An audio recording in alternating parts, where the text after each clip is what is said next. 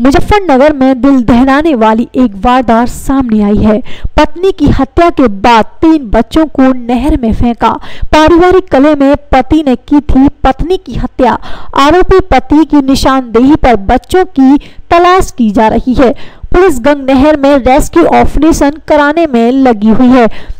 पुरकाजी थाना इलाके की बसेड़ी गाँव का है यह पूरा मामला।